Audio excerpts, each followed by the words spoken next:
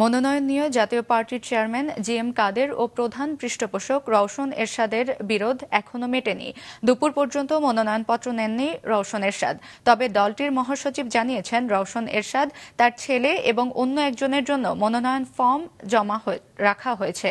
তারা আজকেই নেবেন বলে আশা করা যায়। বনানীতে জাতীয় পার্টির চেয়ারম্যানের কার্যালয়ে সাংবাদিকদের মুজিবুল হক চুন্নু বলেন, যারা দলের ভাঙন নিয়ে কথা বলছেন, তারা জাতীয় পার্টির সদস্য নন।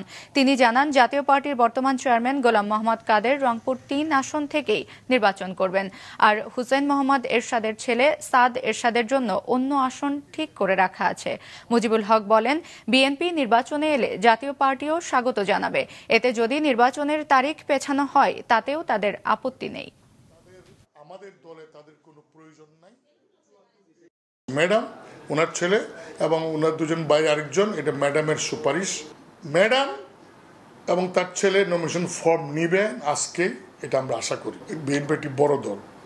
তারা যদি আসে, নির্বাচন কমিশন যদি রিশিডিউল করেন, আমাদের অবশ্যই আপত্তি